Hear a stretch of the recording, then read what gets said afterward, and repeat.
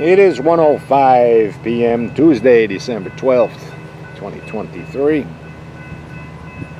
Servicing gang was out last night. They're tied up for today on the Indrio team track. And now coming south, coming home. The 920 local passing the conditional stop at 236. Right now you can see the red marker there. 428. Big Jim in the near window. That's my boy.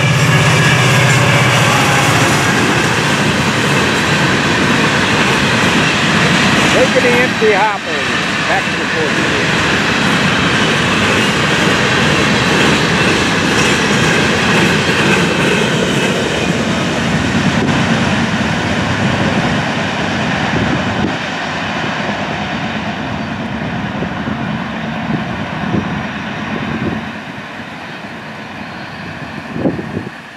Guys will be back in the yard in moments. Rearrange your train, work south this afternoon.